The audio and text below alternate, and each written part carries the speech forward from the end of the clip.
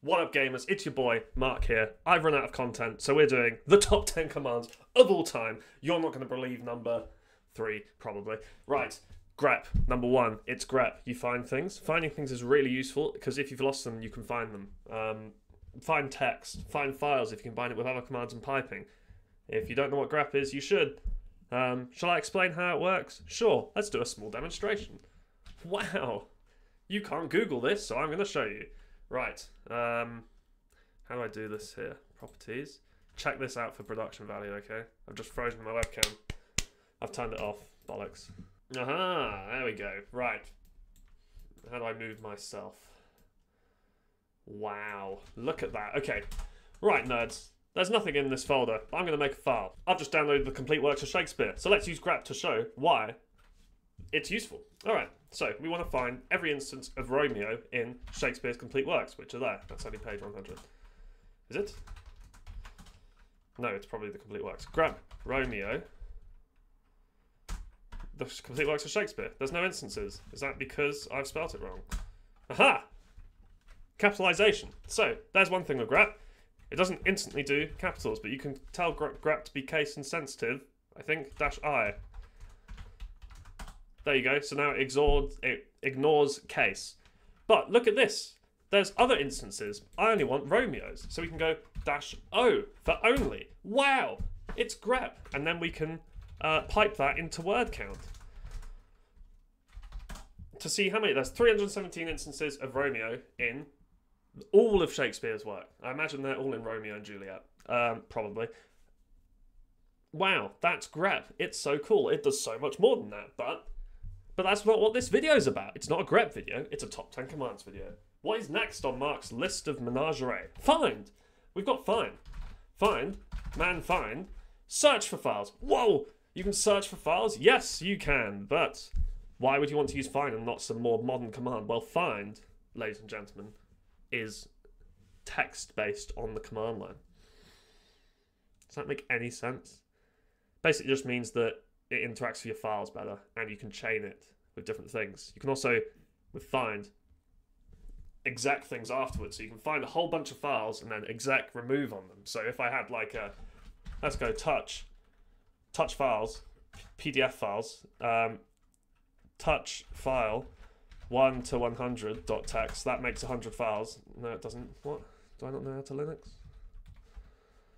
One. There we go. I remembered. Um, so now if I want to find all the files, find file.txt, right?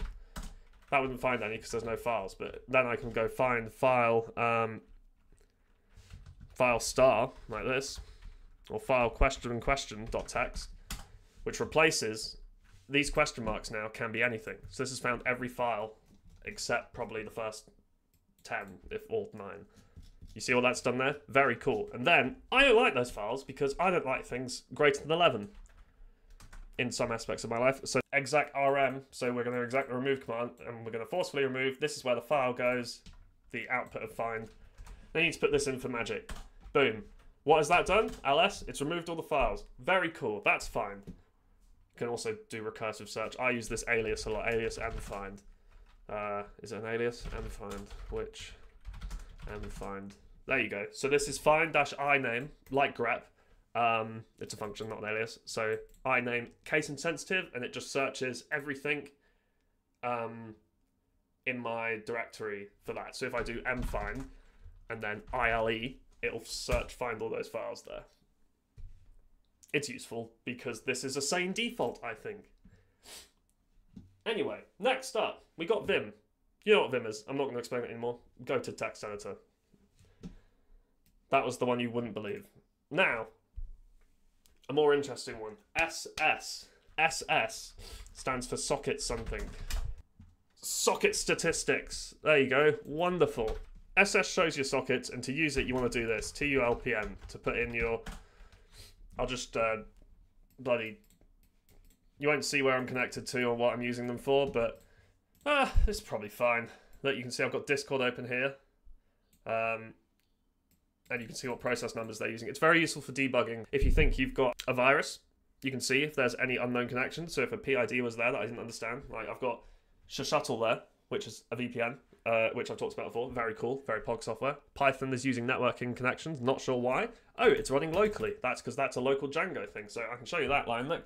So uh, this is um, my local address, listing on port 8000. It's open to any network and it's running Python. Uh, that's actually a Django thing. There we go.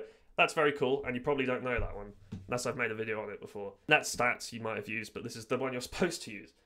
Cat is the next one, because it's cool and it opens files, and people say you shouldn't use cat if you're also grepping, but use cat anyway because it's fun, and remove it in scripts. Uh, it really doesn't matter. Unnecessary use of cat is like irrelevant. Who really cares, right? Um, that's on there. It opens files. You know what cat does, but I use it all the time, so that's why it's on my most useful commands. Here's the here's the uh, controversial one.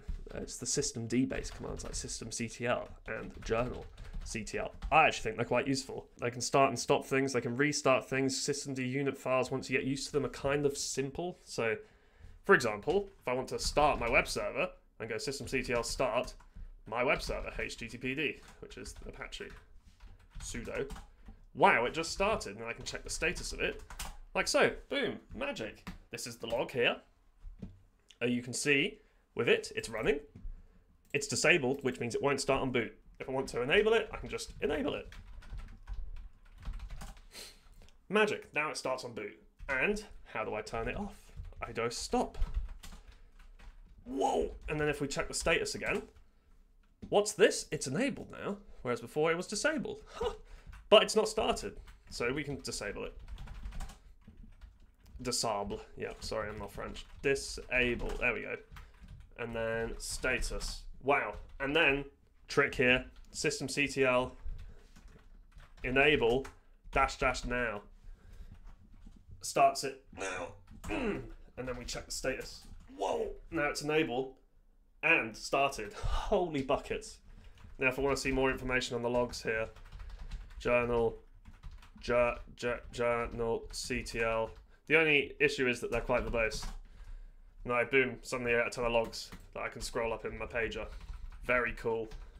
There we go. Wow, magic. Next, next command. It's it's cron because systemd is useless and terrible and bloated, and Lennart Poettering should probably be in prison for his crimes. Um, systemd has these things called systemd timers, and they're terrible because they are complicated and like like everything in systemd.